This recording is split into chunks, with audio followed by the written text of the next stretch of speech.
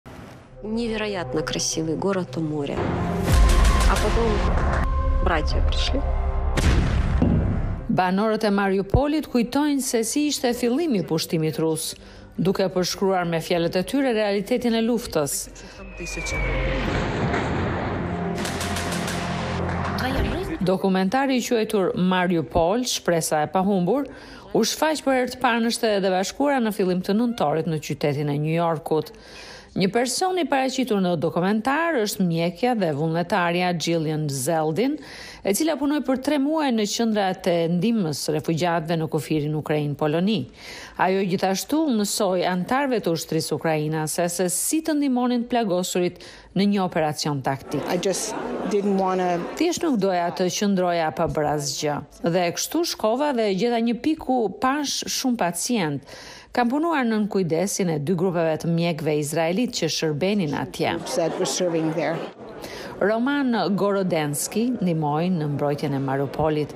Ai humbi dorën dhe një këmbë në Mariupol dhe u kap rob nga rusët. Ai u torturua dhe u lirua në një shkëmbim të burgosurish. Tani Romani po rehabilitohet në Shtetet e Bashkuara. Shpresoj që së shpejti të eci normalisht dhe që edhe krahu dhe këmba të punojnë normalisht. Më pas mendoj t'i bashkohem sërish forcave të armatosura të Ukrainës. Dokumentari bazohet në shkrimet e gazetares së Mariupolit, Nadezhda Sukorukova dhe në ditarët e banorëve të Mariupolit që jetuan muajin e parë të pushtimit rus. Dokumentari i realizuar nga organizata e producentëve ukrainas nxjerr në pah të vërtetën mes gjithë dezinformatave ruse, thotë regjizori i filmit Maks Litvinov.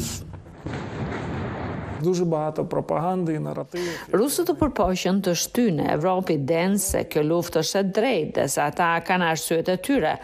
Ne thjesht e dinim se duhej të tregonim të vërtetën që do të dilte kundër gjithë atyre gënjeshtrave. Ukrainasit në dokumentar thonë se bota duhet ta dijë dhe ta mbajë mend atë që ndodhi në Mariupol.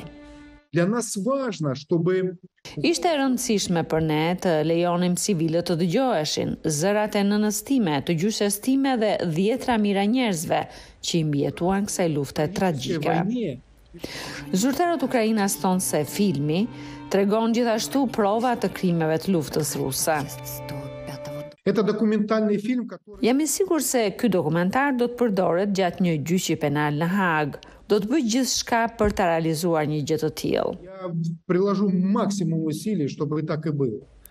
Thuaj të vërtetën e qytetit tim, ky shënim i gazetares Nadezhda Sukorukova përfundon dokumentarin duke bashkuar shpresat e të mbijetuarve ukrainas.